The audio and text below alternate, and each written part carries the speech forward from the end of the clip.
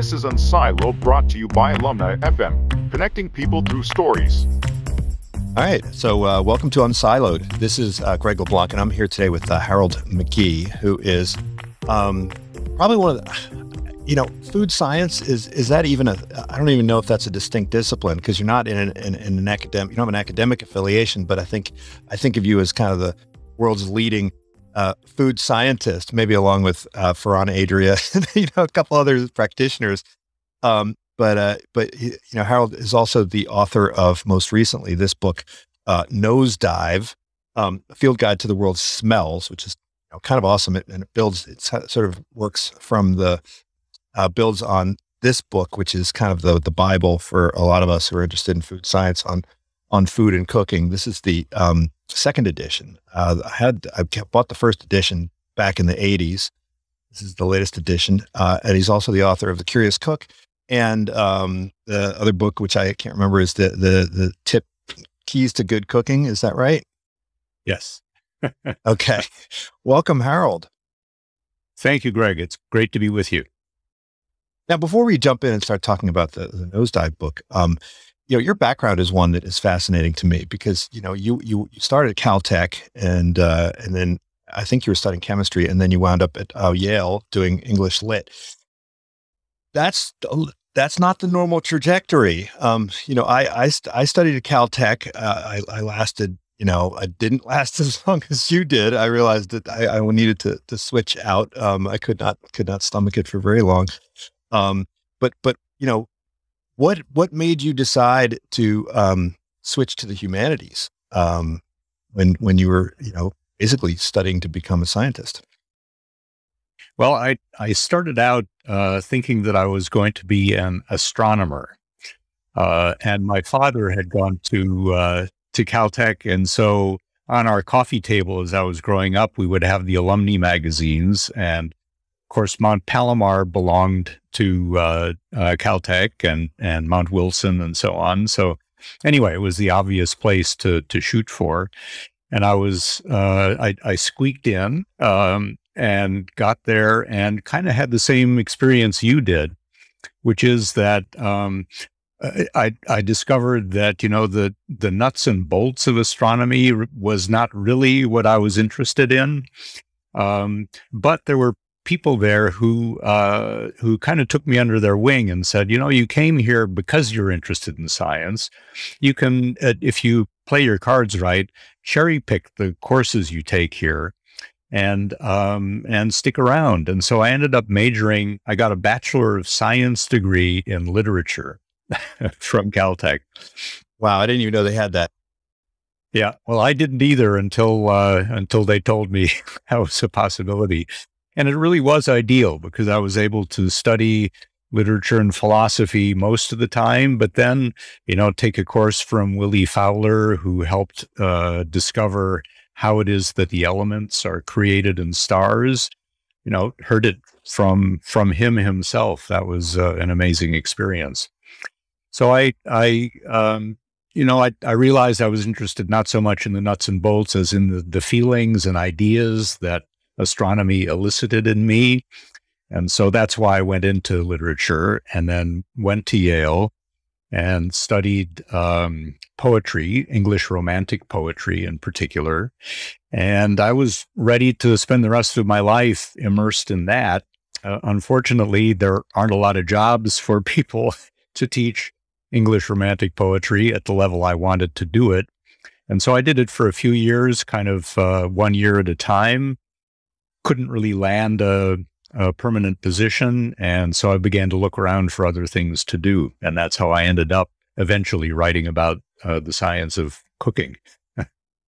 yeah, I started in, in, French history and, and made a detour. Um, but um, in that in in the book at the end of the book on smells you you recount uh, what it was like to be in the library all the time. I see you have kind of a bit of a library behind you but but you you made me when just that passage made me evoked in me this this this uh, this remembrance of the smell of of bookstores and the smell of of the library which is a smell i think that is um ultimately you know one that that our our descendants will will never be exposed to, right? It's a, and, and uh, but but what I found interesting is just the the writing about it and and the talking about it was sufficient to evoke uh, a, a, smell memory, and uh, you know the memory of smells is so so deep inside of us. And, well, I think we we are going to get into that, uh, but you know the other thing I wanted to ask you initially is you know in this book you you you have it in the introduction um, say that when the first edition came out in 1984, there really wasn't any kind of defined discipline of, of food science. Now, I think maybe some of the folks at Davis would would would disagree. Um, you know, maybe that they think that agricultural science is the same as as, as food science, but uh, or taste science.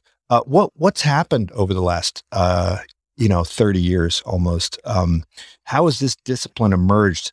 Uh, how has it evolved? And and what you know are, are you surprised by this?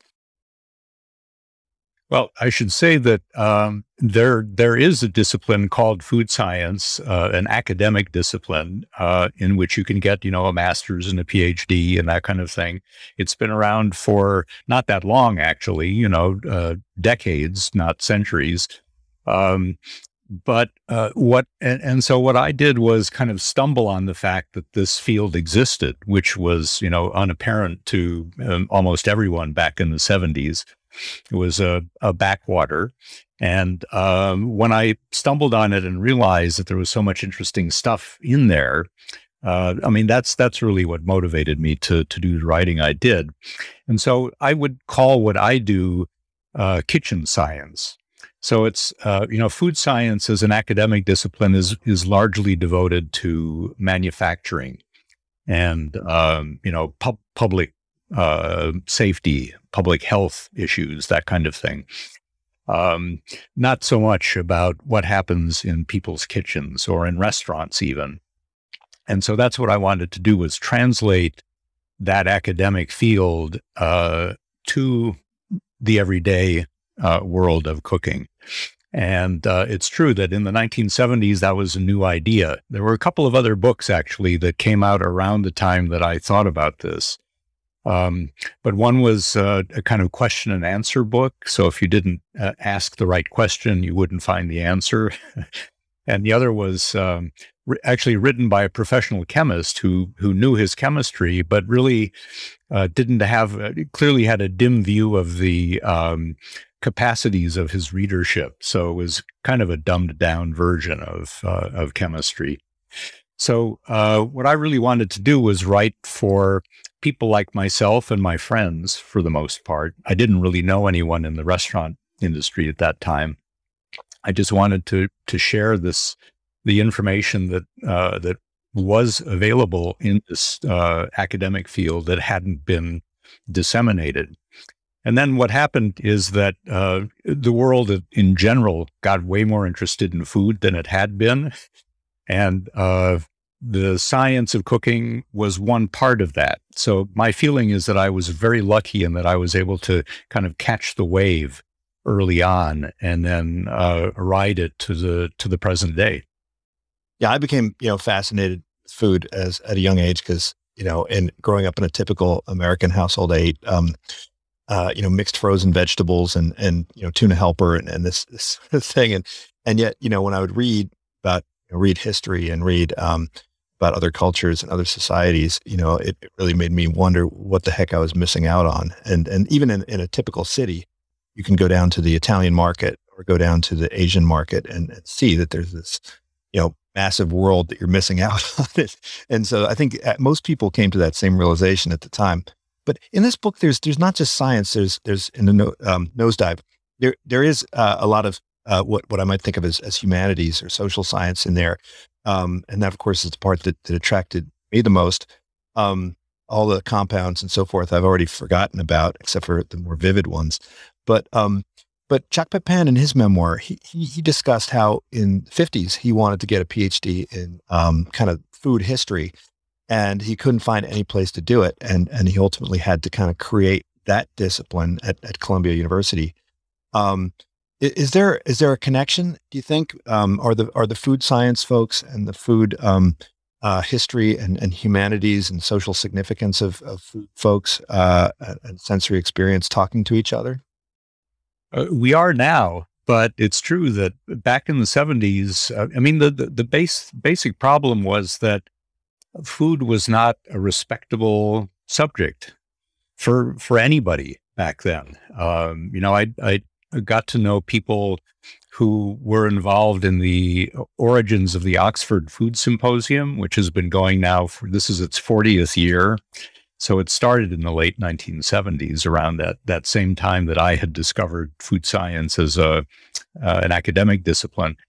But you know, it, if if it weren't, uh, uh yeah, I uh, I still have trouble understanding why it is that's that something so fundamental to human existence wasn't a respectable academic subject. I, I, know many people who proposed thesis projects on uh, on food in history and sociology and philosophy, uh, and were told by their advisors, "No, that's that's you can't do that."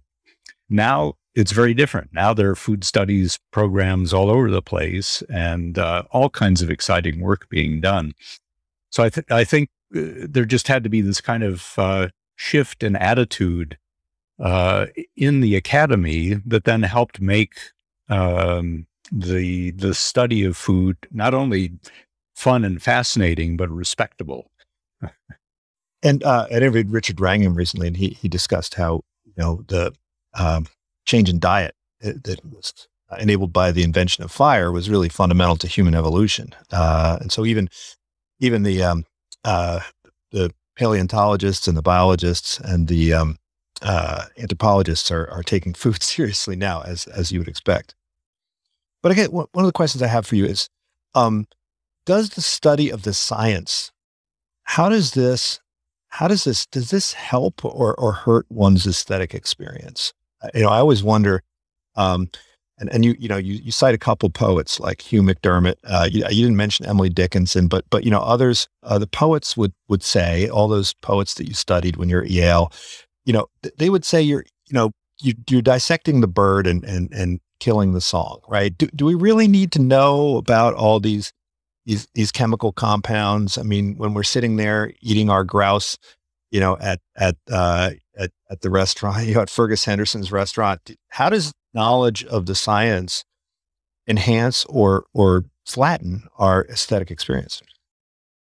Well, uh, I mean, it's true that uh, Keats, who is the guy I wrote my dissertation on, has a, line about uh, how Newton unwove the rainbow.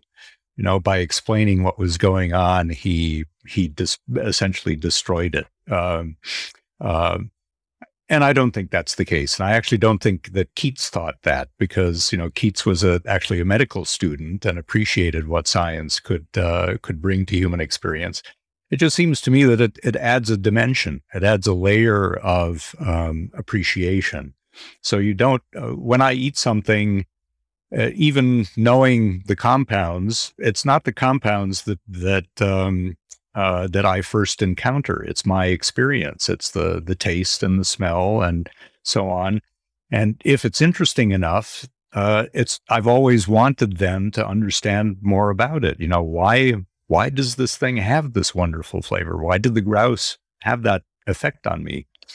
Uh, and so learning about what underlies that experience, it seems to me, if you're if you're drawn to the experience in the first place, uh, just adds a, a, dimension of appreciation that you wouldn't have otherwise. So you know, if you're if you're on a romantic date and and you you know you're you're, you're analyzing all of the uh, the the the, the you know the the scents and the, the, you know the serotonin and the oxytocin and all that, it's it's uh it's it's not going to um, reduce the romantic nature of the date.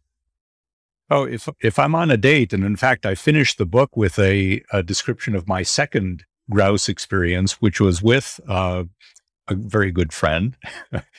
uh, and it wasn't on my mind. The, the, the details were not on my mind at all. You know, it's, it, it it's just that if you, uh, if you're interested, and that's why I call the book a field guide, you know, if, if you're out and you observe a bird, you hear its song, uh, and that's a wonderful experience in and of itself. But if you want to know which bird it was and how far it flew in order to be with you, and uh, that kind of thing, then there's that information out there in field guides to um, to help you appreciate that, so that the next time you encounter that bird, that's that's kind of part of your database of uh, of appreciation.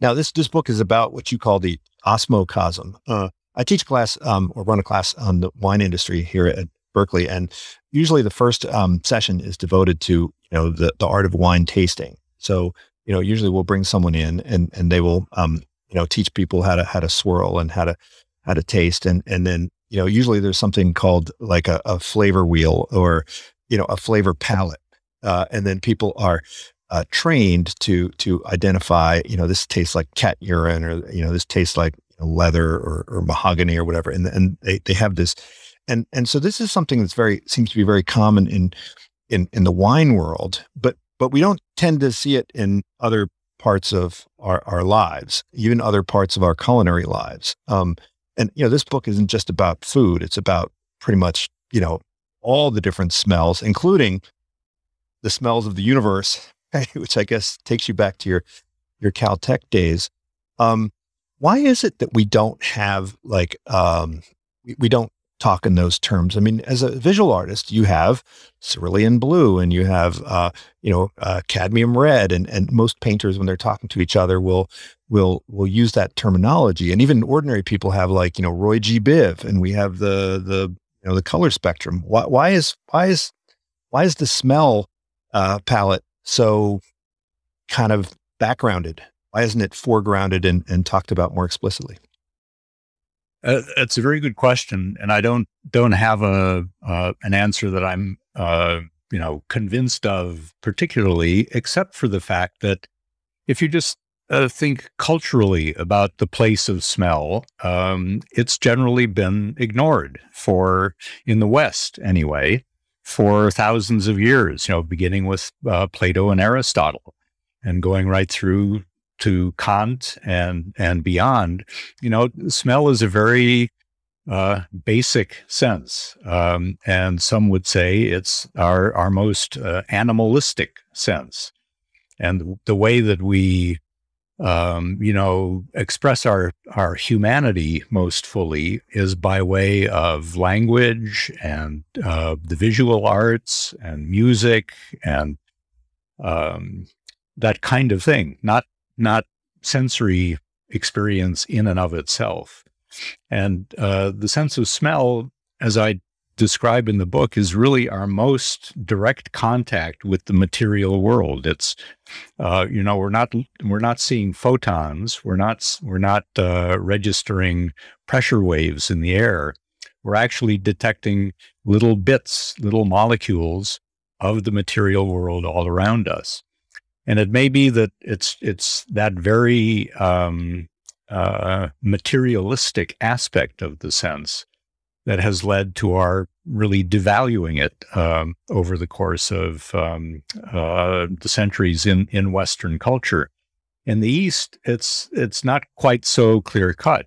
Uh, smell has always been important in China and India and uh, Japan and cultures in in Asia in general um, in incense, in fragrances, in, in um, the celebrations of things in everyday life. I'm not sure that the the vocabulary for talking about it is uh, that much more developed in the East than it is in the West. Um, but again, I think we're just as we uh, kind of caught on to the fact that food is really important and interesting and delightful. I think we're now catching on to the fact that um, uh, sometimes by its absence, uh, by by our loss of smell. In in the case of COVID, that smell is something that contributes a lot to human happiness and to human understanding, and uh, it's about time that we started to pay more attention to it. Well, I think I read recently that of all the senses, it's the loss of smell which leads to the greatest rate of of depression and suicide.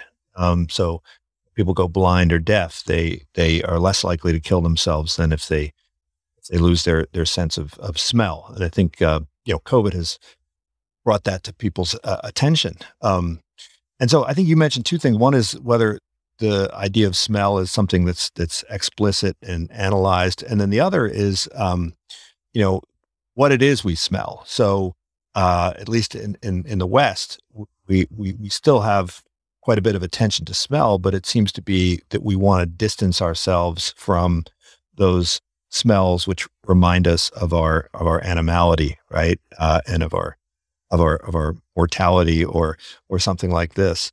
Um, you know, why why do you suppose why do why do you, is that is that the story? Is is it really that that you know humans are afraid of their their animal nature and and the, and they would just want to camouflage it with uh, uh, with non-animal scents? I mean, I think in the world of perfume, haven't we seen an evolution away from the, the musks and the civets and more towards like the florals and the and the uh, the non-animal smells?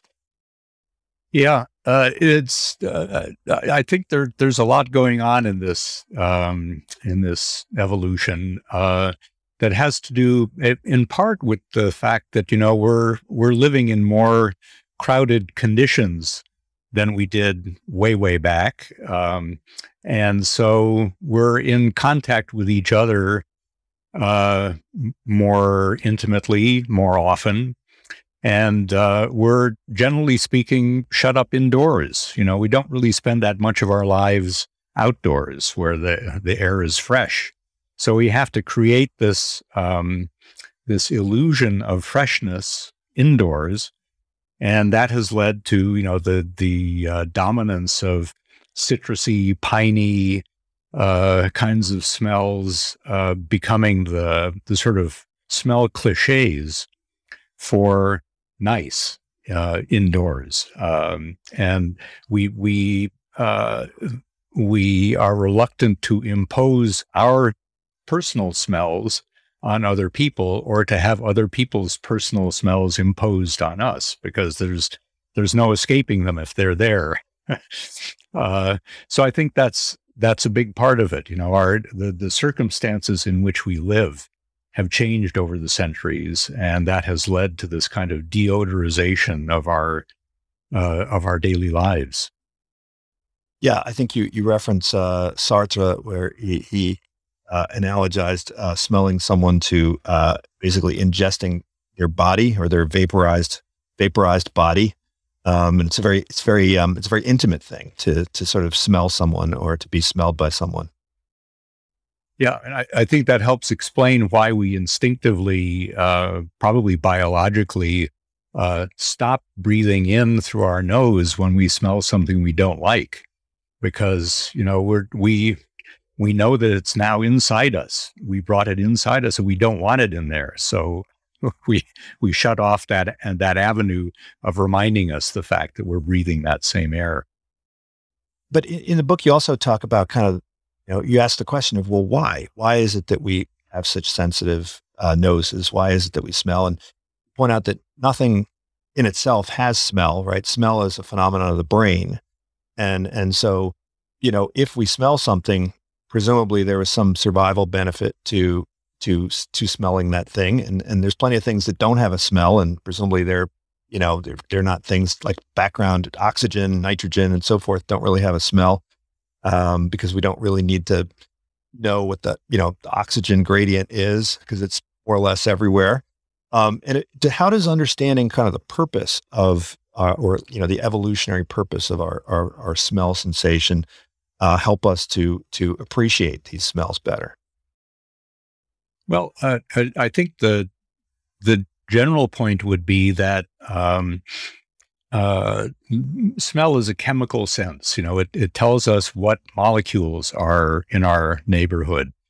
And uh, that's been important to life from the very beginnings of life. uh, you know, the, the first uh, single cells needed to know what direction they needed to float in and in or or propel themselves in to to get food or to avoid toxins. Um, so it's it's just absolutely fundamental to to life. And uh, you know, in in mammals, we we now have a a sense that has been developed uh, for us in particular, with our noses up off the ground. Um, uh, a, a, sense that has developed to to answer the needs of uh, our particular um, biological and ecological situation.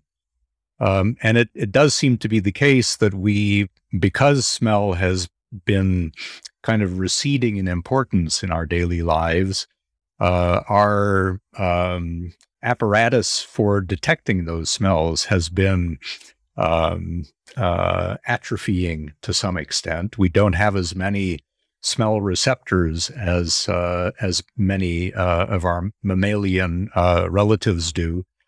On the other hand, we have amazing processing power for dealing with the smells that we do detect and and making sense of them and so on. And so uh, the the the the uh, I, I, think the the locus of um, uh, ability in smelling has shifted in us from the detectors to the the processing uh, equipment that we have to to make sense of those smells that we can detect. So there's there's this long term evolutionary trajectory where presumably we're we're less our smell capabilities are are not quite as good as say a, a dog's um, or you know some other mammals, but um, but then there's probably the more more recent non biological uh, change that you reference, and, and, the way I think about it is, um, you know, those those London cab drivers who who had you know the the hippocampus that was you know swollen, and they could you know navigate London, and now with Google Maps, that that hippocampus is just kind of shriveling up, right? Uh, and um, you know, there's there's uh, you read these stories about the Australian um, native people who who can you know, basically go from one part of Australia to the other because they have this visual map. Um, you know, smell's not that we don't really need it to survive, right? I mean, in, in our lives, uh, whereas it might have been much, much more important for for people in other societies. Does that mean we just don't like the the the vocabulary that we have and and kind of the the the smell map is just kind of non-existent or you know lessened or flattened? Uh, and that it could be built up through through cultivation or through exposure? Yeah, no, I think that's exactly it. Uh, we we still have 400 receptors, uh, and they still do pick up on what's around us. Uh, and what matters is, you know, what use we make of that information.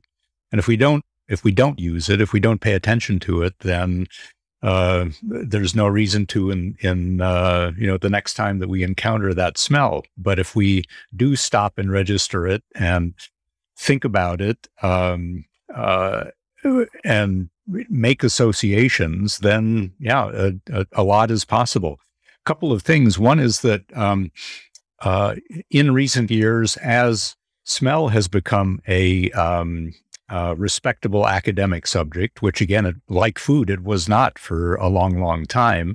That changed around the year 2000. Um, and now it's it's a hugely exciting field. Now that it's an exciting field, people are going back and looking at questions like, are we better or worse than than other mammals? And if you if you actually do the controlled proper controlled experiments, what you find is that we're actually pretty good compared to dogs and and um, wild animals of various kinds when it comes to um, detecting particular molecules at at low concentrations. You know, we're we're about as sensitive as as most mammals are. Um, but because for most mammals, it's a way more important and much more exercised sense. Um, that that's where the the difference lies. So uh, if we if we started out life um, paying as much attention to those smells as uh, as animals do, uh, we would be probably as good. And if we stuck our nose down on the ground the way dogs do, and this has been demonstrated in a wonderful experiment at Berkeley, actually, we can also track things um, as well as dogs do. So uh, there's a lot of possibility there. That's that's fascinating. Um, you talk about kind of um, you know familiarity and you know with smell. The minute when you're exposed to something uh, for more than a few seconds, you kind of stop smelling it, right? And so you have to kind of refresh yourself. I, I remember, you know, 25 years ago, uh, we were surrounded by cigarette smoke pretty much everywhere, and so you barely noticed it. Now, I think if if someone lights a cigarette 300 yards from my house, I, I, can I can smell it almost almost immediately because it's it's uh, it's you know it's something that you don't smell that often uh, nowadays. I mean, in Ber- Berkeley, the marijuana I don't notice, but um, you know, um, but does that mean that it, so you could you could do like a uh, you could go to a smell like a personal trainer for for for smelling? In fact, I think you you Bruno Latour you you reference he, he wrote about how people in the perfume business can essentially become uh, noses. And, and I like this, this quote that you had from uh, Michel uh, Serres. Was, um, intellect is empty if the body has not knocked about. So is it, is this, is, can we, can we see a day where, you know, you go to smell training institutes, um, the way you currently now go to bodybuilding institutes or something like that? Yes, that's exactly what uh, people in the perfume industry and and nowadays in the flavor industry do. Um, you know, manufactured uh, packaged foods are very carefully formulated. Uh, flavor is is one of the more difficult things that they have to uh, figure out for materials like that, and uh, and so flavor chemists and fragrance chemists do exactly that. They they spend hours every day sniffing individual mole- molecules and uh, noticing the the uh, qualities that those molecules evoke in their apparatus. Uh, and because we all have different apparatuses, it's going to be different for different people. But you come up with your own way of recognizing and identifying and associating particular volatile molecules with particular qualities. And um, yeah, so it's that that's exactly what goes on in those professions. And nowadays, that's actually being applied to people who have lost their sense of smell through COVID. And before COVID came, uh, it's it has been a problem in other kinds of viral infections, in in uh, as a side effect of chemotherapy and that kind of thing. So you can you can just make a conscious effort to sit down with, if not individual molecules, then you know the the spices on your spice rack, and just sit down and um, and learn from scratch, if necessary, uh, what those particular smells are. So why isn't it used more in, say, medicine or, uh, you know, I think in the old days, uh, I remember the uh, the play about um, George III, where every day they would inspect his chamber pot, you know, to diagnose his his illnesses. And I think in in you know in folk medicine, uh, they're they're constantly evaluating people uh, based on on their smell. I know that if I'm sick or if anyone I know is sick, um, I can I can tell, you know, even before they feel their symptoms, I can usually tell based on their smell. Um, and you know, there's there's evidence that dogs can do a better job of detecting COVID than you know some of the the the antigen tests that we have out in in the market. Um, and yet, you don't really see at a hospital. You don't have the doc the dog sniffing for lung cancer. You need to have some kind of uh, machine uh, or, or some kind of you know blood test. Um, but you know we use the, we use the we use the dogs to sniff out the the the bombs, and we use them to sniff out the the the you know the drugs that people are smuggling into or my case it's usually the meat that i'm trying to smuggle in from italy or france and they take it away. They even Same took it here. I had an apple from kazakhstan that was accidentally in my bag and they they took that and i was you know basically in trouble with the with those people for years.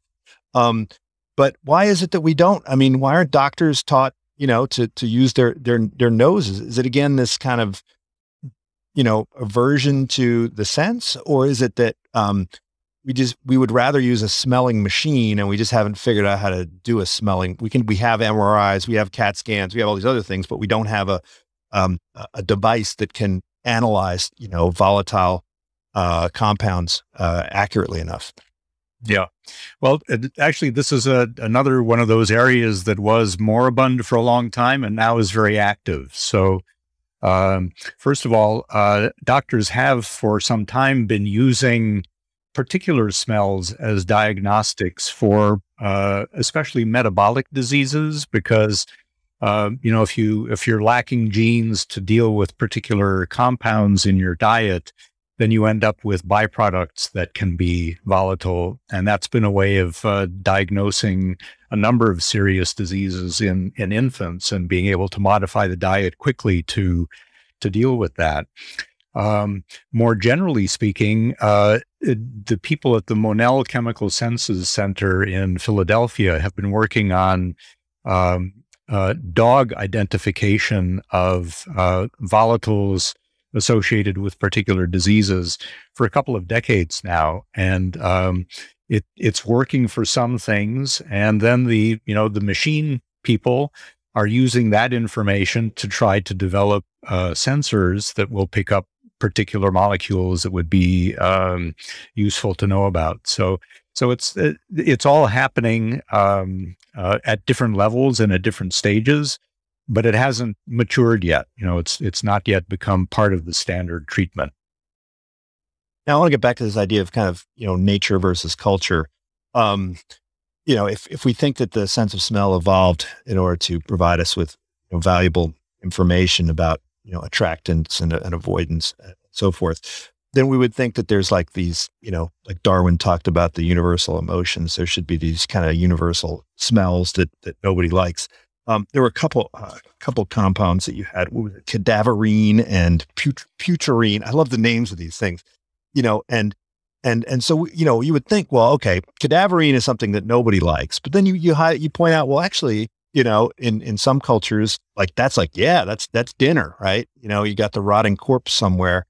So so how much of of how much of how much of our you know uh, smell affect is is kind of universal and and natural, um, you know, and if it is, then then why why do you know why do we ignore it? So one of the great ex- couple of examples you point to are how you know when when babies drink breast milk, their their their feces you know smell fresh, and when they formula. It smells, you know, rancid. I've heard from people who work in in um, uh, meat processing plants that when you slaughter a a grass fed cow, the the there's the, the the the cow smells, you know, doesn't smell bad, but when you process a um, a grain fed cow, you know, it, it smells terrible.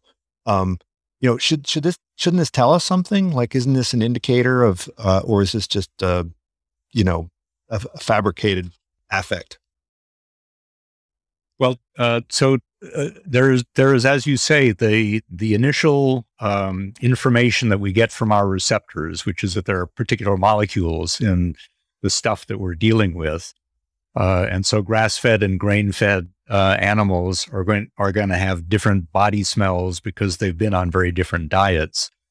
But then, um, how our minds, how our brains register that difference uh, is going to depend very much on our um, experience, on our database, because what the brain does is take in that chemical information and then uh, use its database to figure out where have I come upon this before, what does it signify, and what's an appropriate response to um, to that signification. And uh, and of course, uh, most of that is going to depend on prior experience. That's how your database is built.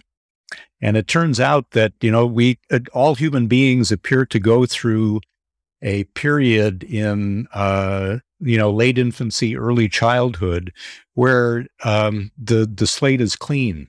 You know, they'll, they'll put anything in their mouths. And uh, so disgust and displeasure seems to be learned uh, there don't seem to be any universal uh, compounds or univer- universal responses to particular compounds. But I should also say that you know the the response is going to depend on the dose. So even very pleasant things, if you're hit with uh, an awful lot of it all at once, is just going to be uh, overwhelming and therefore unpleasant for that reason. And that's why I think there is this kind of gradation for things like um, putrescine and uh, skatole and indole, which are molecules that in decaying animal flesh are really prominent and overwhelming, but they're also in flowers in tiny little doses in the background where in fact they they kind of lend a, an interest because they're not your usual flowery smell but they're also not so obvious as to really disgust you. Uh, so it's it's complicated. So it's it's the compounds themselves, their concentrations, our experience, our expectations. Um, it's it's a wonderfully complicated mixture. Yeah, I mean, so many of the foods that we eat are um, are you know basically rotting uh, in one way or another. Uh, I mean, some are worse than. I mean, Epoisse you mentioned is my favorite cheese of of, of all of all time, and um, you know it does, does smell you know rather human like in a way, and and um, and you know what is it, lutefisk or the one I heard was the absolute worst was a Greenland shark, which uh, I don't think you mentioned it in the book, but but it's you know they bury it for for months and it's just you know awful apparently. But it it it's also apparently really good if you uh, if you get used to it. Drink it with a strong aqua aquavit. Yes, uh, no, uh, Hakarl, I think is the name of that uh, that shark, and it's true. I, I have not tasted that, although I I did include the fact that it's apparently it smells mostly like ammonia when when all the, the fermentation is is done. Uh, my my favorite uh, extreme food is something called surströmming, which is a a canned uh, Swedish herring that is essentially allowed to rot uh, in the can. So you know, in in the U.S.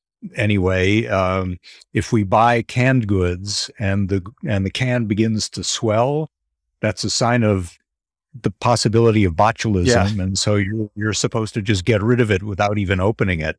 In the case of surströmming, what you're looking for are cans that look more like footballs than like cans, because that that in can fermentation is a big part of the of the ultimate appeal.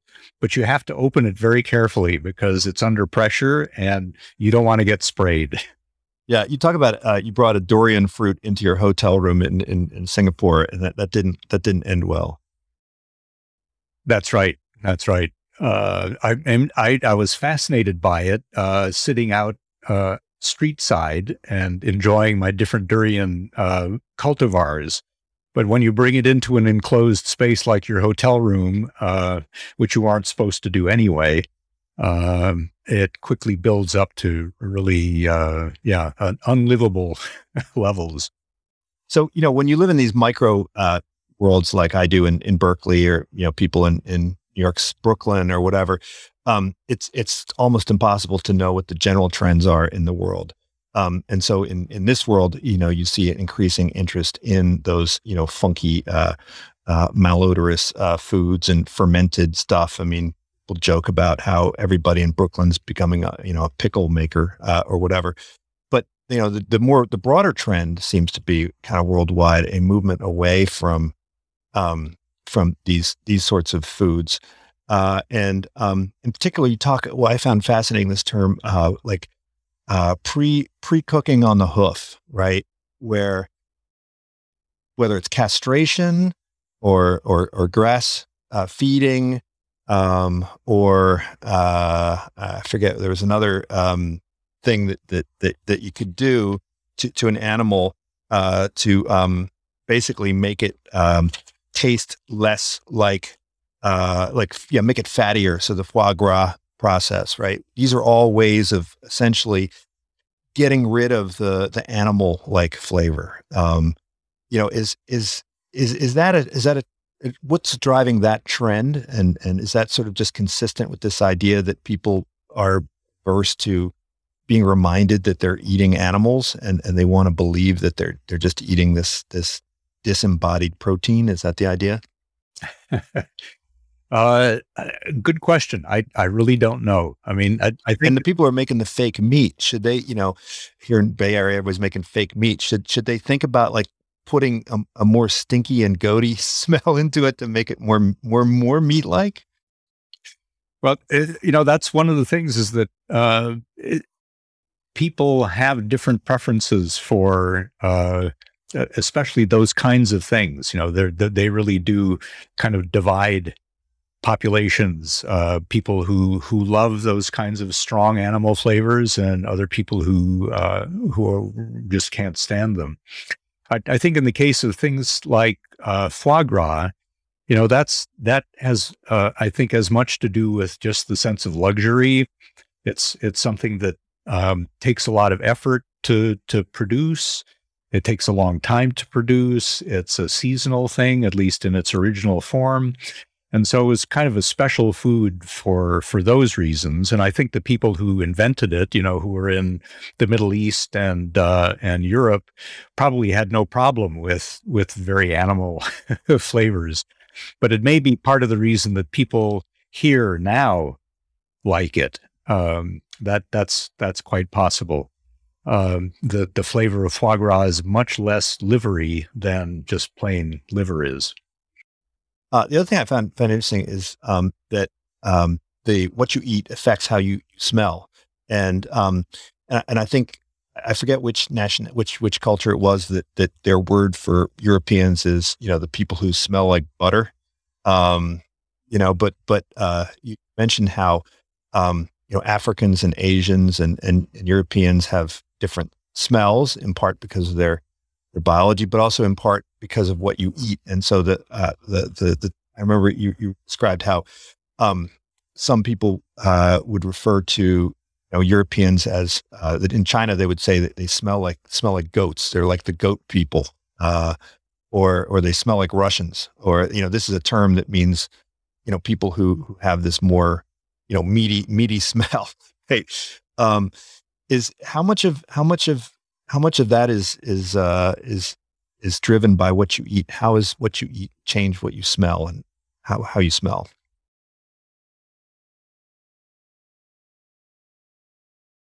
Well, uh, so there there are these two different uh, aspects. One is the the um, uh, intrinsic body odor of humans, regardless of what their diet is, and it turns out that that does vary from uh, from one part of the world to another. And it has to do with genetics. Uh, and this has been nailed down by uh, people in the flavor and fragrance business because they want to find out, you know, how to formulate their deodorants to make them most effective. So they need to understand what it is that they're trying to uh, deodorize. And what they found, um, and now biologists are very interested in this, is uh, genetic variance between Asian populations, European populations, um, North American populations, South American, African. Uh, we've all got different sets of genes that encode compounds that ultimately affect the way we smell. And uh, it, it's fascinating. No one's come up with a, a, good explanation yet for why they should be so different. Um, but that's one thing. Uh, then there are the smells that develop in and on us uh, based on our diet. And uh, those develop simply because when we take food in, our body metabolizes the, the materials that come into us. It makes use of the things that it can make use of, like proteins and carbohydrates and fats. The other stuff, it has to find a way to uh, to get rid of so that it doesn't gum up our works. You know, we're, uh, if the compounds can't be used, then we need to dispose of them. And either they're disposed of directly uh, as is. And so if you've eaten um, Indian food recently and it happens to have fenugreek as one of the components of the spice mix, you're going to sweat that out and you're going to pee it out. And uh, uh, so you'll know it for a while. Um, and in fact, my my grandmother is uh, was uh, Indian and uh, lived in England. I would see her once a year, basically, and just sitting in her lap. That's what I remember. That was that was what she smelled like all the time. In addition to the warmth and the all the other things. Um, so, so it's a combination of those two things. It's, it's what it is that we take into our bodies and that our bodies need to deal with. And then the, uh, the intrinsic compounds that our bodies make apparently, uh, originally to, uh, as, as signals to each other. Yeah, one of the more interesting chapters in the book was really about kind of animal signals. Uh, and it's an area that I'm I'm very interested in. Um, and you know, you walk through how um, you know these these compounds that that animals create, I mean, they, they go to a lot of effort. They go to a lot of, I mean, just like flowers, but animals, they, they put a lot of effort into creating these, these, uh, these chemicals that are, um, may serve no other purpose than to uh, generate and, and collect uh, smells. uh, in conjunction with the the bacteria that that they're you know they're basically feeding. They're basically feeding this this biome which has certain smell and it's it's meant to signal certain things. Um, and uh, and a lot of it is about you know, dominance or or you know, uh, other things. Or it's not that they're you're trying to communicate fear, but then people are able to detect it uh, and, and, other things. Um, and I'm wondering, um, you know, does this kind of body odor suppression is body odor suppression kind of a, um, a corollary to democracy? Like, do we need to have body odor suppression in order to suppress all these these signals that are that are? I mean, if if if the signals about, you know, you're you're on the in group versus the out group. You're my neighbor. I need to distinguish you from from you know the people one village over, um, or you know you you're, you're dominant and you're submissive. Like, do we need to just suppress all this? Uh, and and I'm wondering, you know, there's these studies that show um, every time you shake someone's hand, you know, like you you you smell their hand, presumably to feel them out and figure out, you know, how they how they relate to you. Maybe with with COVID and all the elbow bumping, you know, we don't have this information and that, that might be a good thing. Maybe it's better that we're all kind of, you know, the same.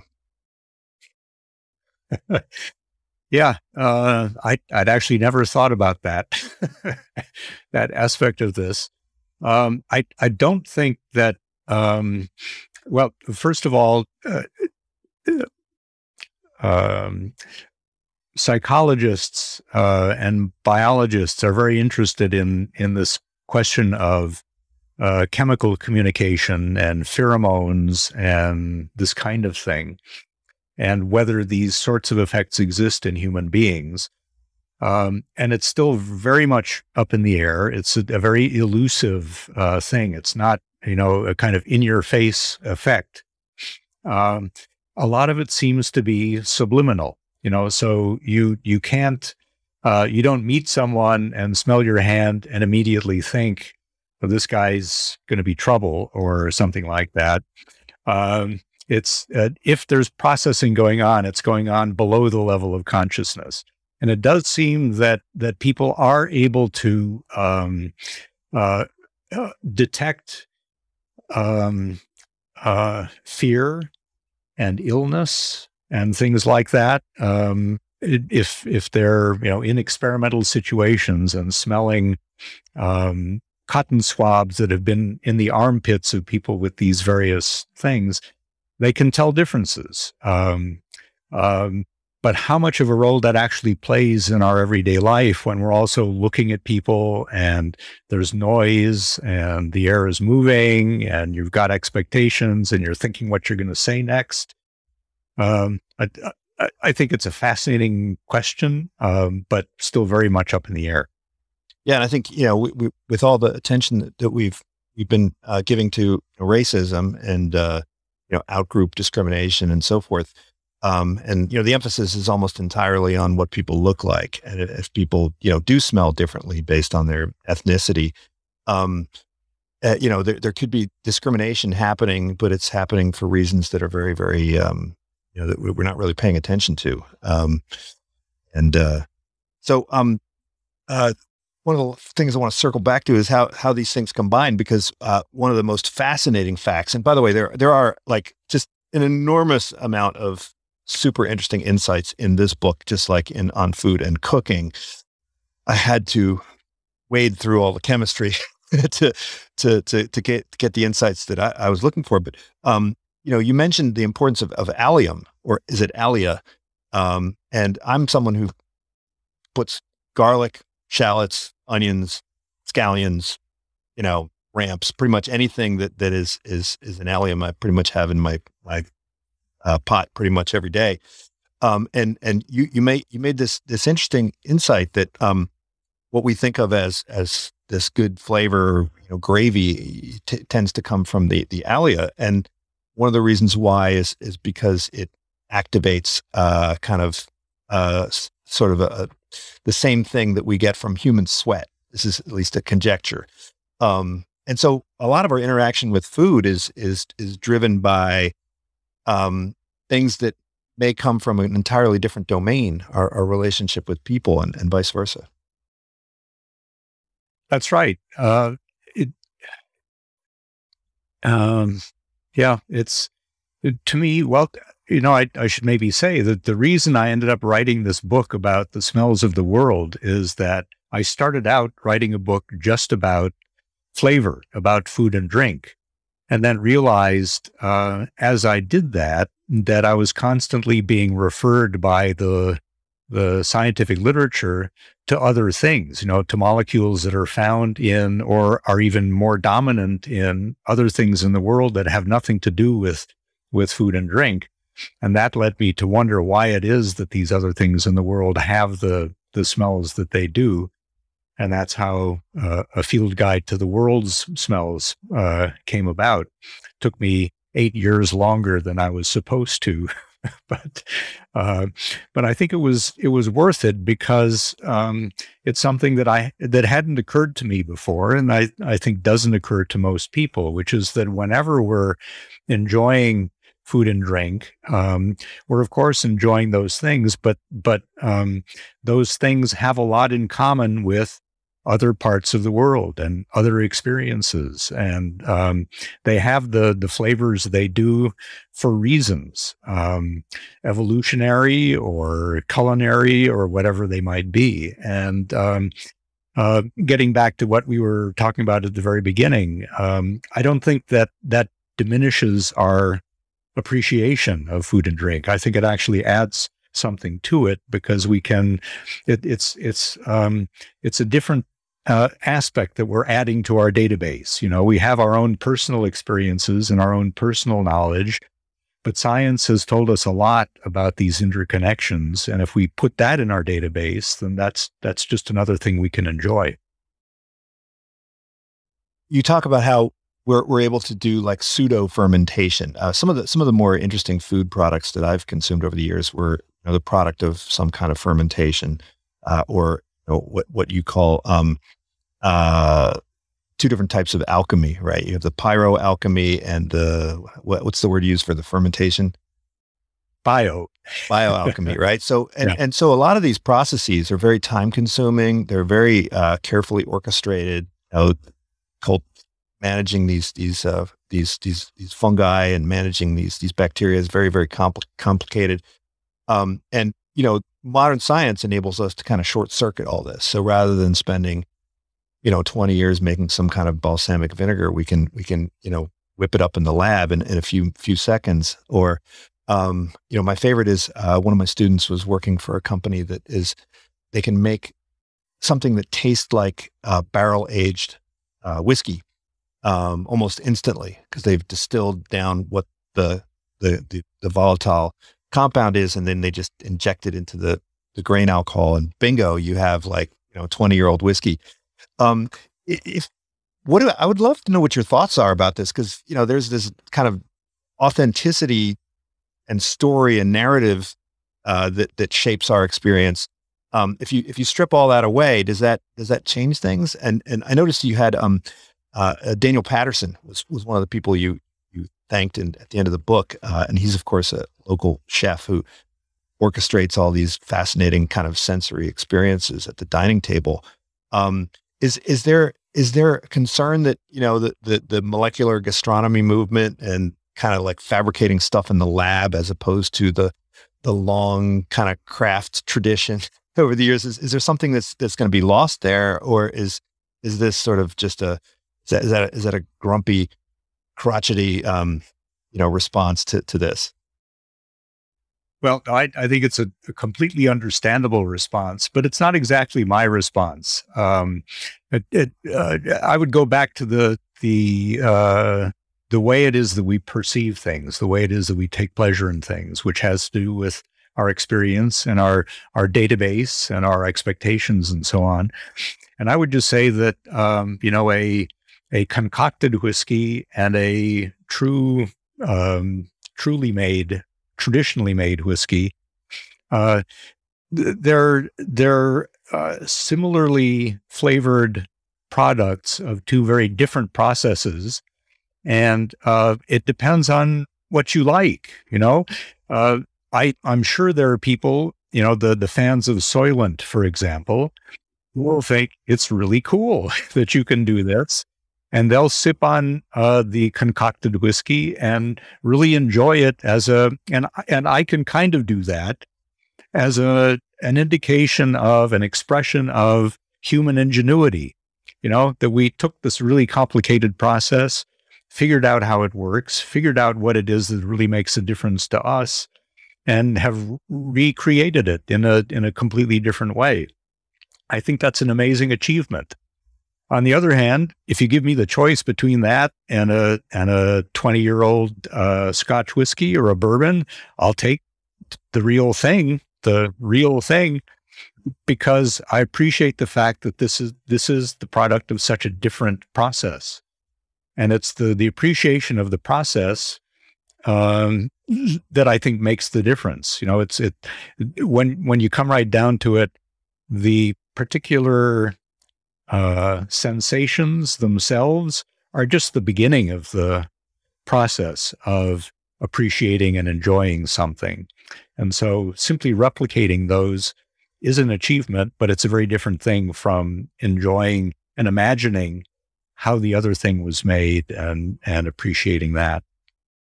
So there, there will always be people who um, will pay extra for the wind up watch and there will always be people that will pay extra for the the the, the physical books. So i still have you know piles of, of physical books including your books. Um uh and i haven't yet i'm i'm as technologically advanced as i am i'm resisting the kindle. Um and uh so you know last question i guess is that um is this does this offer the opportunity for a, a new occupation or profession you know, we think about architects and architects are basically designing our, our space. Um, you know, they, they're starting to think about putting a scents and, and aromas into, we, we know that in, in, uh, and I was talking to, uh, I was interviewing, uh, Charles Spence recently, and he was talking about how, you know, if you want to sell more cookies, you got to have the smell of cookies in the, in, in the, in the environment and so forth. It, uh, well, we, we have a new kind of smell architect? Is this a new occupation? Uh, and will people, you know, seek out um, designed smell experiences? Will it, or will this just sort of, or, will we continue down this road of of of you know smell degradation and, and disappearance? What do you think? No, I, I think smell is is already enjoying a renaissance. Um, you know, I just received uh, the other day a uh, a catalog for a museum in Amsterdam, no, in in the Hague in in the Netherlands, which has an exhibit now of of paintings and um, uh, and along with it, they're uh, providing little spray bottles of smells so that you can experience what it is that you see in these 17th and 18th century paintings of uh, of life in the Netherlands. Um, so the art world is discovering it as an, an additional aspect of the experience of enjoying um, uh, the art of the past. And there are now people who do specialize in creating and designing um, uh, smell spaces. Uh, and people are leading tours of cities by virtue of their smells, you know, going to different neighborhoods to appreciate different smells. Uh, so I think we're in the midst of a uh, a renaissance, and I I don't think smell is going to go away. Hopefully, we'll breed flowers with smell back into them and so forth. Um, Harold, thank you so much. This is great. Uh, hopefully, um, be able to have you over for dinner sometime in Berkeley. Um, check this out, right? Nosedive, uh, and of course the classic um, on food and cooking. Um, I, I, you're going to have another edition of this out sometime uh, soon, or, or what do you think? maybe sometime, but not soon. okay, so so don't wait for the next one. Go go get this one, uh, and then um, you know if if you you'll, you'll, still get plenty of value out of it while waiting for the next edition. Uh, thank you so much, Harold. I really appreciate it. Thank you, Greg. It was great fun. This is unSILOed brought to you by Alumni FM, connecting people through stories.